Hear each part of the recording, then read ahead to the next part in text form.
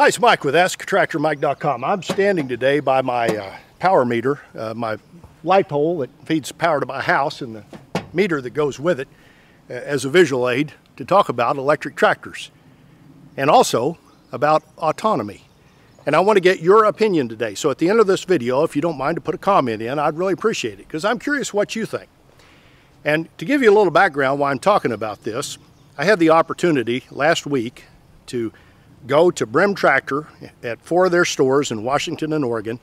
They had customer appreciation days and I got to appear there and that was awesome. I really appreciate the opportunity to do that. And I thank all of you that came out to see me. It was great to meet some of my viewers. While I was out there, I, I observed a few things about the Pacific Northwest. And if you've never been there, the Oregon-Washington coast is one of the most beautiful places I've ever been. If, if you haven't been there, go. But I noticed three things about that area that are different from where I am. Number one, it's about 20 degrees cooler out there in the summer, and that was awfully nice. It's 100 degrees right now where I stand, a little bit uncomfortable. Number two, out there they don't have near the roadkill or the flies that we have. Don't know why, but not having to fight flies and be outside in 20 degree cooler temperature was awesome. And the third thing I noticed is they have embraced electric cars a lot more than we have. In the Ozarks, where I'm from in Missouri, if you see a Tesla, it's a little bit of an anomaly. In the Pacific Northwest, where we were, about one out of 25 or 30 cars is a Tesla, an electric car. And there are charging stations around for them, and, and it's, it's not uncommon to see them. And there's, I know other brands of cars out there that are electric, and I was probably seeing them too and just didn't know what, what to look for. But the Teslas are electric, and we saw a bunch of them. And it made me rethink how this electric technology is taking over traditional areas where the internal combustion engine dominated. Also, while I was out there at Brim Tractor, I was at four of their locations. I actually saw my first electric tractor. And that was interesting is a tractor about the size most of us own, a compact tractor, with a front end loader on it. And it made me think, is this technology that far away? I don't know. And Dan Brim is the owner of Brim Tractor, and we had a long talk about electric tractors and also about autonomy. And I wanted to get your opinion about these today, because every now and again I like to do a video where I ask my viewers' opinion, because that's the best way to find out what people think. Now getting the politics out of it. Uh, there's a lot, a lot of politics involved in the electric car issue. I get that. The Green New Deal and all that's pretty controversial. But I also know there's a bunch of you that don't like these new compact tractors with the diesel engines that have got all the smog stuff on them. And I hear people say, I, I don't want to buy a new tractor. It's got all of that stuff on it. Well, there's now an option out there, depending on what size you want, of an electric tractor that has none of that. And I'm an internal combustion engine guy. I grew up in the 70s when we all had hot cars. I've still own a 1968 Ford Torino that I'm going to get restored one of these days, and it's going to have a V8 engine in it.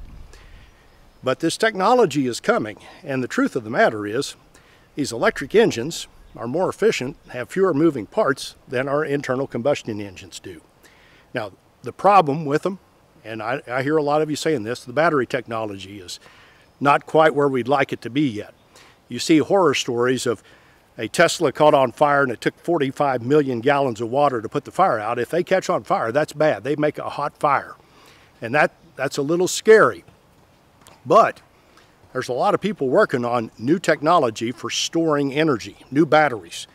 And when they get that here, that may revolutionize that whole thing. So question I have for you today, if you had the option of buying a compact tractor with a loader and everything you want that was electric, would you, would you do it and get rid of all that smog stuff you've been complaining about? Part two of that question is what would you be willing to spend for that? If it were 20,000 more, would you buy it? 10,000 more, 5,000? Where is the price point where you'd go electric versus going internal combustion? That's question number one. The second question I'm interested in, in knowing from you, and I talked to Dan Brim, the owner of Brim Tractor, extensively about this, and he has a different opinion than I do.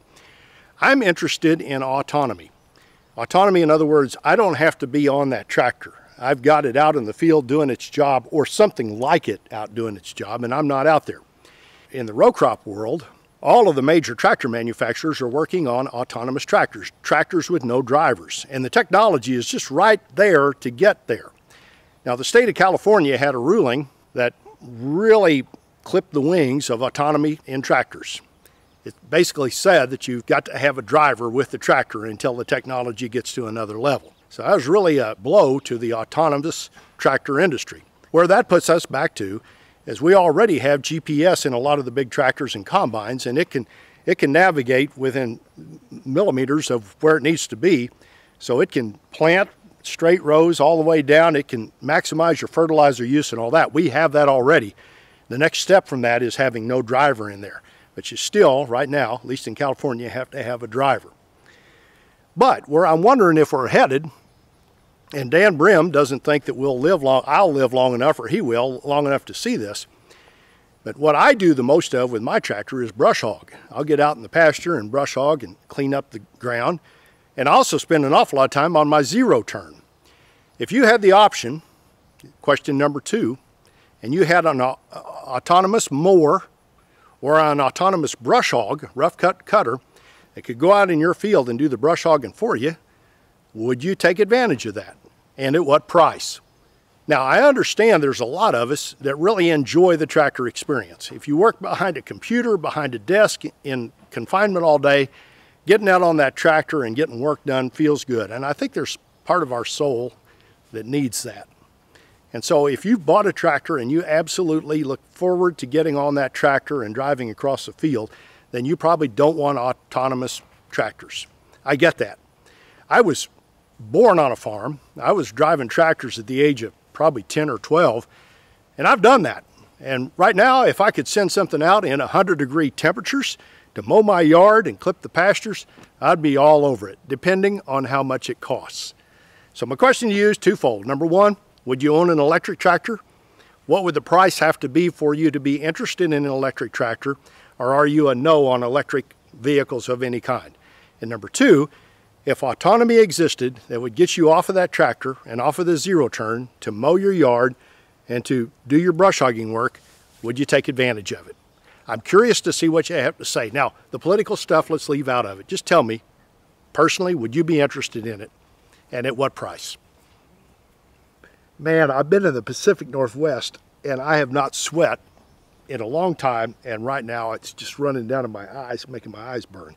Oh, well, you got to love the Ozarks. I appreciate you watching my videos. I'd be honored if you'd subscribe to my YouTube channel. And you can do that by clicking the Mike Face icon and checking the bell so you're notified when I post future videos. Here's a link to my website and the Tractor Fun Store with unique items for sale for the tractor owner that helps support my channel. And here's another video you might want to watch. Thanks for watching.